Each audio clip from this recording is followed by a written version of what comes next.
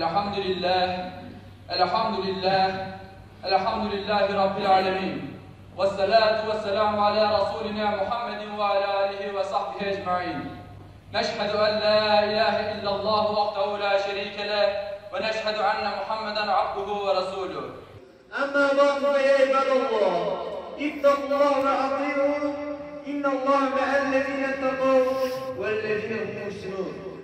قال الله تعالى في كتابه الكريم أعوذ بالله من الشيطان الرجيم بسم الله الرحمن الرحيم قل أعوذ برب الفلق من شر ما خلق ومن شر غاسق إذا وقب ومن, ومن شر النفاسات في العقاد ومن شر حاسد إذا حسد وقال رسول الله صلى الله عليه وسلم إذا سألت فاسأل الله وإذا استعنت فاستعن بالله صدق رسول الله فيما قال أو كما قال Muhterem Müslümanlar, Peygamberimiz sallallahu aleyhi ve sellem bir gün amcasının oğlu Abdullah bin Abbas'la yolculuk yaptığı esnada ona şu tavsiyelerde bulundu. Delikanlı, sana bazı şeyler öğreteceğim. Allah'ı gözet ki Allah da seni gözetsin. Allah'ı gözet ki onu daima yanında bulasın. Allah'ı gözet ki bir şey istediğinde Allah'tan iste.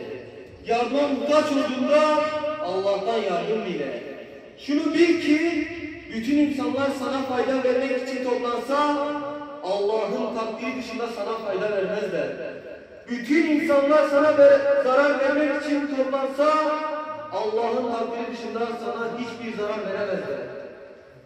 Aziz müminler, Yüce dinimiz İslam tüm insanlığa imanın hakikatlerini ve ahiret huzurunun yollarını gösterir.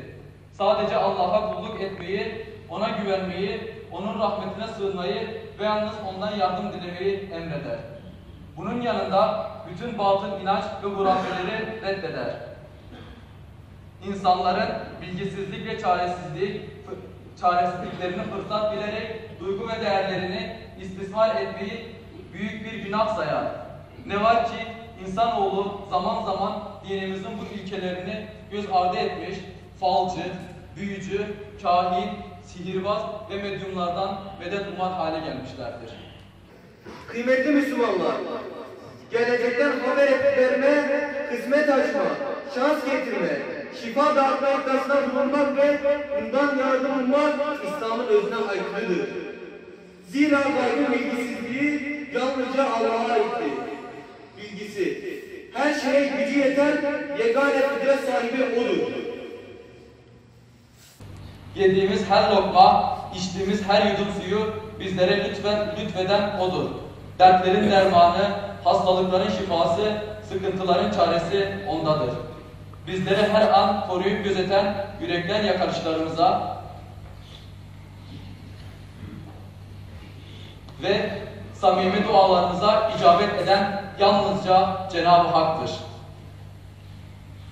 Değerli müminler, Rabbimize iman ve tevekkül etmişken umudunu fala bağlayıp geleceğini ona göre planlamak, büyü ve kehanetten medet ummak asla doğru değildir.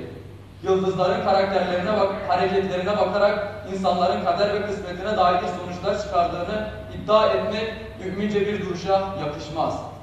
Rakamlara, günlere, aylara hiçbir e, hiçbir gücü ve kudreti olmayan nesnelere gizem ya da uğursuzluk atfetmek inancımızla bağdaşmaz. Kötülüklerden koruduğuna inanarak bir boncuğu kutsal saymak, ağaca bağlanan çaput havuza atılan para da kısmet aramak yüce dinimizin yasakladığı davranışlardır. Aziz, aziz, aziz Müslümanlar, şöyle bir düşünelim. Başkalarını de, e, başkalarının dertlerine büyü ya da sihir gibi gayrimeşru yollarla çare bulun, bulduğunu iddia edenler niçin kendi dertlerine çare olamazlar? Geleceğin bilgisine sahip olduğu yalanıyla insanların umudunu sömürenler bu bilgiye neden kendileri doğru yola erişmezler? Şifa dağıttığını söyleyerek ins- insanları aldatanlar nasıl olur da kendi hastalıklarına şifa bulamazlar? Kıymetli müminler, hutbeme başlarken okuduğum Felak suresinde Yüce Rabbimiz şöyle buyuruyor. De ki, yarattığı şeylerin şerrinden çöktüğü zaman gecenin şerrinden düğümlere düğümlere üfürüp büyü yapan üfürükçülerin şerrinden ve kıskandığı vakit kıs- kıskanç kişinin şerrinden sabahın Rabbine sığınırım.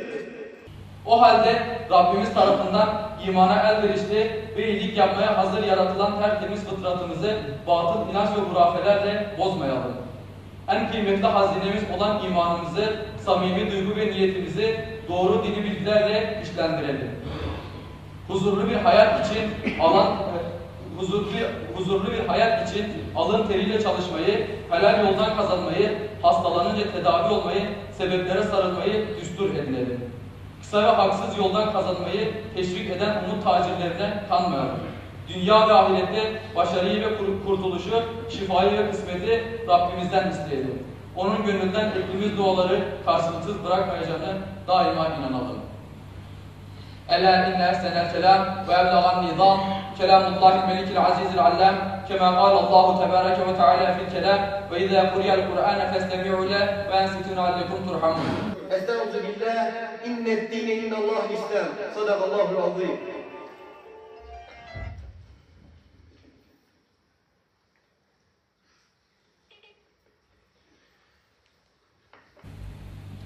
الحمد لله حمد الكاملين. والصلاة والسلام على رسولنا محمد وعلى آله وصحبه أجمعين. تعظيما للنبي وتكريما لصفيه فقال عز وجل من قائل مخبرا وأمرا إن الله وملائكته يصلون على النبي. يا أيها الذين آمنوا آمنوا صلوا عليه وسلموا تسليما. اللهم صل على محمد وعلى آل محمد كما صليت على إبراهيم وعلى آل إبراهيم إنك حميد مجيد. وبارك على محمد وعلى آل محمد كما باركت على إبراهيم وعلى آل إبراهيم إنك حميد مجيد. Allahümme ensur İslam ve müslimin. Allahümme eyyid kelimeti hak kuvvetli. Allah'ım Allah'ım İslam'a ve Müslümanlara yardım et.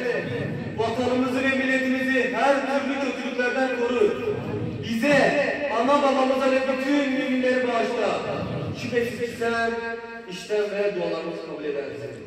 عباد الله اتقوا الله واتبعوه أعوذ بالله من الشيطان الرجيم بسم الله الرحمن الرحيم إن الله يعمر بالعدل والإحسان وإيتاء ذي القربى وينهى وينهى عن الفحشاء والمنكر والبغي يعظكم لعلكم تذكرون Muhakkak ki Allah adaleti, iyiliği, akrabaya yardım etmeyi emreder.